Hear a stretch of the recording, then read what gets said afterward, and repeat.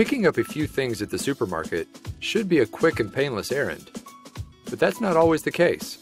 Slow lines, packed aisles, or out of stock items can turn the grocery store run into a hassle that you don't expect to have to deal with.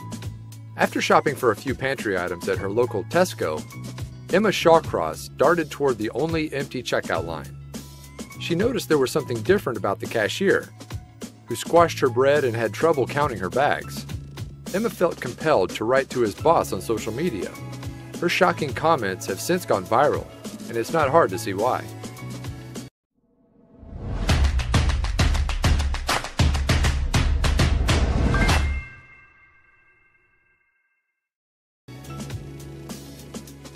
Emma Shawcross stopped into a Tesco in Norfolk, England to pick up a few kitchen staples. When she was ready to check out, she headed toward a cashier standing quietly behind his register, where there was no line. Emma placed her items on the conveyor belt, and the cashier hurriedly scanned each one, leaving them unbagged until Emma could pay and get them herself. At this point, Emma was starting to pick up on something that seemed different about her cashier. Emma asked the cashier for five shopping bags. He counted, then recounted twice more before handing them to her. The cashier was not making conversation. He squeezed her loaf of bread to the point it was misshapen, and he seemed to struggle with her change. Together, they counted Emma's change, and she left the store with only one thing on her mind. She wanted to contact this young man's boss.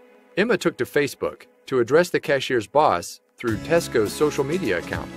She provided an explanation of the entire event, start to finish, but left a few vital details that seemed to change everyone's understanding of her motivations. See, this guy is autistic, Emma said. As a mother of a 12 year old autistic boy, this makes my heart smile. Changing attitudes teamed with employers like you, who really do offer equal opportunities, are changing people's lives. So thank you, Tesco.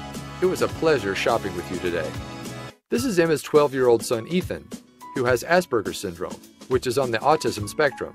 Emma's experience with the Tesco cashier lifted her spirits and reminded her that the world is going to be an amazing place for Ethan, thanks to employers like Tesco. This uplifting story took an unexpected turn, but we couldn't be happier that it did. Thanks to Emma for sharing this moving encounter and helping to foster positive attitudes towards people's differences.